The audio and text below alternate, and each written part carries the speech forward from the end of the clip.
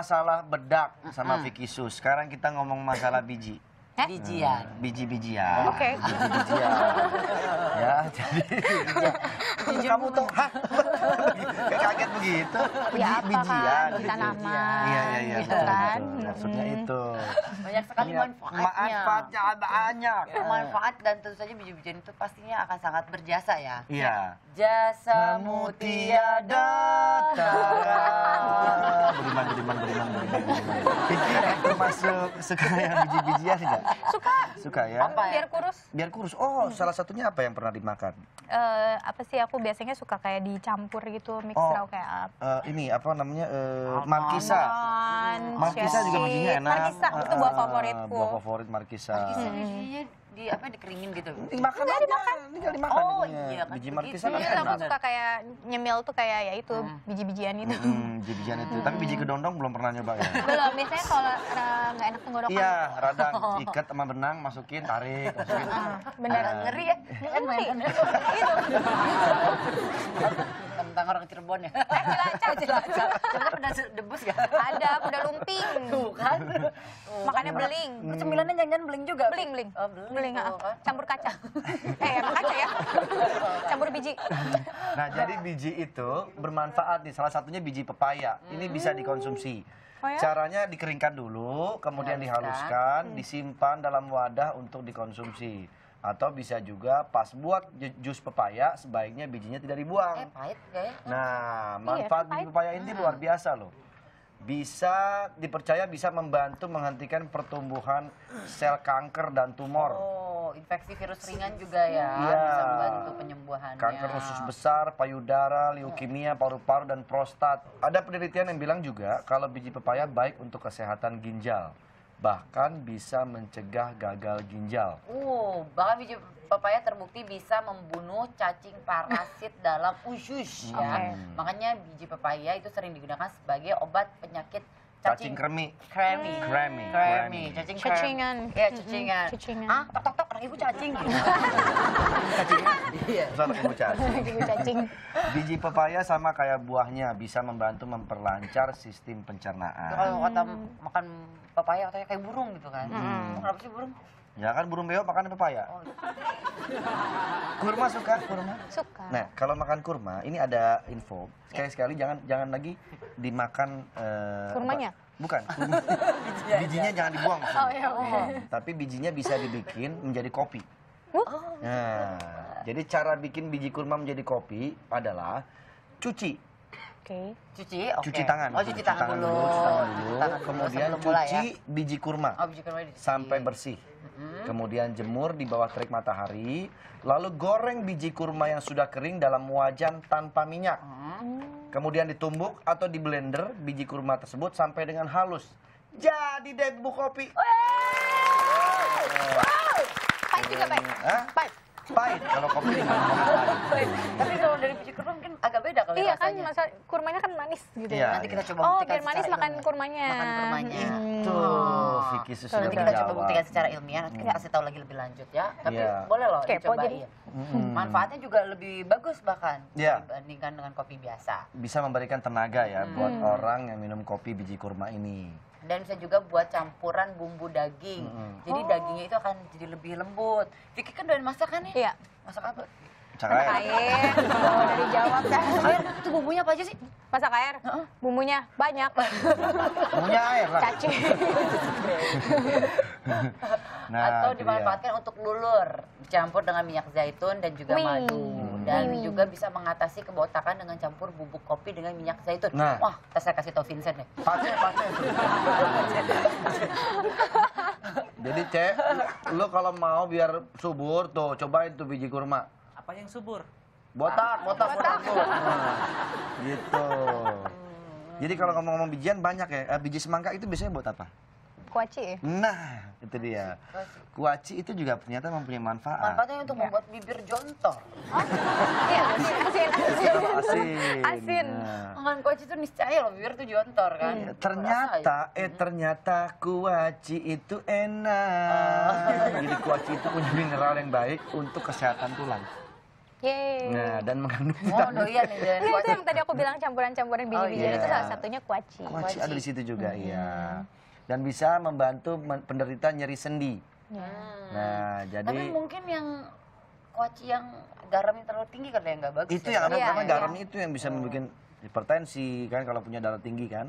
Eh, tapi ini keren banget nih ada katanya kuaci itu bisa menyehatkan kulit dari dalam. Oh, gitu. Jadi, Jadi, kalau makan kuaci vitamin E-nya itu bisa menjaga kulit dari paparan sinar ultraviolet matahari. Iya iya, ini kita juga ada tayangan tentang biji durian diolah menjadi rendang di buset. Magelang. Nah, ini juga luar biasa nih ya. Ternyata biji Kaget durian ya? bisa dibuat Biji jadi rendang. Rendang. Mm-mm. Yuk, coba kita lihat ya tayangannya ya. Ini ada tayangannya. Musim durian tiba, penikmatnya akan dimanjakan berbagai jenis dan rasa buah durian. Usai disantap, limbah kulit dan biji durian pun menumpuk. Warga desa Candi Mulyo di Magelang, Jawa Tengah memanfaatkan biji durian dan mengolahnya menjadi menu lain, yaitu rendang. Tekstur biji durian yang keras diakali dengan mengukusnya. Setelah lunak, bumbu rendang disiapkan dan dimasak bersama irisan biji durian. Tak lama rendang biji durian pun siap disantap. Suka sekali. Kenapa Pak? Rendang Rendangnya itu ya enak, gurih, pulen. Menu rendang biji durian ini digagas oleh kelompok PKK Candi Mulyo. Sebagai salah satu desa sentra durian di Magelang, mereka merasa perlu memanfaatkan banyaknya biji durian yang terbuang. Rasanya eh, karena kalau orang makan kok bijinya cuma dibuang-buang, terus saya punya pikiran, co- saya coba eh, saya masak eh, nanti hasilnya kayak apa gitu toh enak enggak terus saya coba memasak kok ya alhamdulillah lumayan enak. Menu rendang biji durian ini diikutsertakan dalam perlombaan memasak di Festival Durian 20 Maret lalu. Karena kreativitasnya, menu masakan ini mendapat juara peringkat kedua dalam lomba masakan tersebut.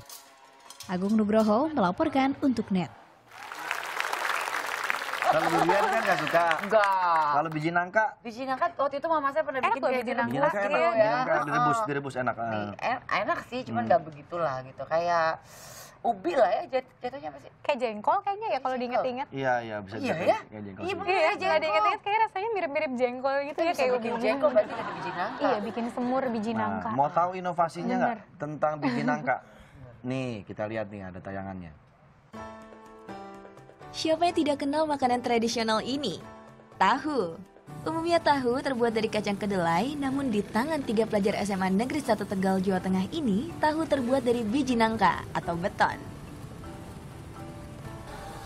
Ide membuat tahu dari biji nangka berangkat dari keprihatinan Anida Falahaini, Iis Istiqomah, dan Salma Nabila yang melihat banyak pengusaha tahu gulung tikar. Harga kedelai yang kian melonjak menginspirasi mereka untuk membuat tahu dari bahan lain. Selain relatif lebih murah, proses pembuatan tahun biji nangka juga lebih cepat karena tidak melalui proses perendaman. saat kita eh, sedang mm, berkunjung ke pasar-pasar tradisional banyak kita jumpai biji eh, biji nangka yang terbuang sia-sia orang-orang yang menjual nangka itu cukup membuang betonnya begitu saja dan saat kita uji di laboratorium SMA 1 Ne- SMA 1 Tegal ternyata biji nangka itu eh, memiliki kandungan gizi yang cukup penting untuk tubuh kita Proses pembuatan diawali dengan mencuci biji nangka, lalu diiris menjadi beberapa bagian. Selanjutnya, biji nangka direbus sampai matang. Biji nangka yang sudah matang dihancurkan menggunakan mesin blender sampai halus.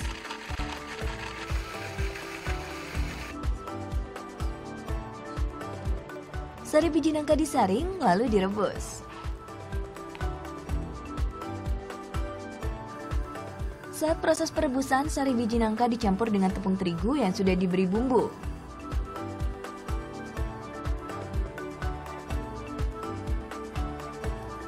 Sari biji nangka dan tepung terigu diaduk sampai menjadi bubur.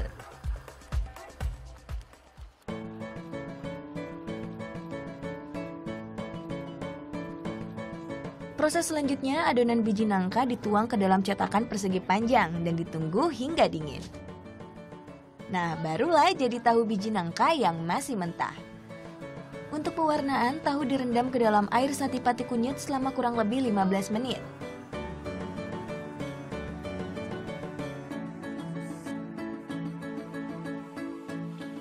tahu digoreng dan siap disantap. Nah, dari 500 gram biji nangka dapat menghasilkan 30 potong tahu. Ide ini menjadi bahan konsumsi alternatif bagi warga masyarakat hingga lebih bervariasi dari produk makanan itu sendiri. Karena Tegal memang termasuk banyak sekali produk dan salah satu adalah bagian dari kreasi anak ini yang dari sesuatu yang tidak berguna sama sekali menjadi sesuatu yang bermanfaat secara ekonomis.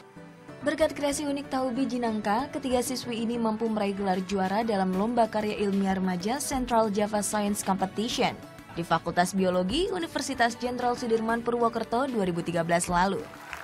Tuh, hebat kan? Ternyata biji nangka itu bisa jadi tahu yang buat anak SMA lagi. Saya baru Nah, tahu tempe. Wah, itu dia. Tahu, Gimana luar caranya? biasa. Nah. Itu tuh caranya. Bingung nggak? Rumit lah ya. Tapi Oh. luar biasa. Kasih tepuk tangan buat pemuda-pemudi bangsa kita yang buat Nah. Vicky juga dari sini mungkin di rumah bisa dicoba nanti ya. Iya. Biji nangka itu diolah Resepnya. menjadi tahu ya. Heeh, kasih Proyek tahu. yang lagi akan berlangsung, Vicky.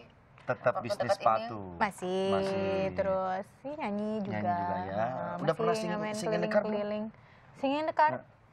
Harus nyobain Oke. Vicky sekali. Nyanyi di dalam mobil. Iya. Kan namanya sing in the car. Ini segmen khusus di pagi-pagi. Hmm. Oke. Ada Sing in the Car. Hmm. Sama seperti yang sekarang, nanti akan ada Sing in the Car. Asik. Hmm. Siapakah dia? Sekaligus betul pribadi kita jangan lupa ya. Dari Senin sampai Jumat jam setengah 8 pagi, tentunya hanya di pagi-pagi. Semangat! Makasih ya Thank you, Vicky. Vicky. Terima kasih Vicky. Terima kasih semua. Selamat pagi. Bye. Sing in the Car.